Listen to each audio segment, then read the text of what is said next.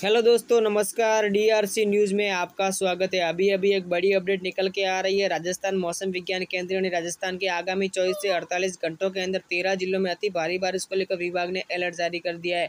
भाई जवेबान की जलस्तर अभी कितना हुआ, ये भी अपडेट आपको इसी वीडियो के माध्यम से हम बताने वाले हैं। तो वीडियो को पूरा देखें और चैनल पर पहली बार आए तो आपसे रिक्वेस्ट करता हूँ, चैनल को सब्सक्राइब कर दीजिए ताकि आपको मौसम संबंधी अपडेट के साथ साथ जवेबान की अपडेट भी मिलती रहे। साथ में वीडियो को लाइक करते हुए अपना जिला कमेंट ज़रूर करें ताकि आपके ज़िले से संबंधित अपडेट भी आपको मिलती रहे चलो, वीडियो को हम शुरू करते हैं। राजस्थान मौसम विज्ञान केंद्र ने चेतावनी जारी करते हुए कहा है कि आगामी तीन से चार दिनों तक संपूर्ण राजस्थान में कई स्थानों पर अति भारी बारिश देखी जा सकती है। विभाग के अनुसार आगामी चौबीस से अड़तालीस घंटों के अंदर बूंदी, झालावाड़, कोटा और सवाई माधोपुर ज़िले में कई स्थानों पर अति भारी बारिश देखी जा सकती है। वही करौली, कोटा सवाई माधोपुर टोंक जिलों में कई की हल्की बारिश भी देखी जा सकती है।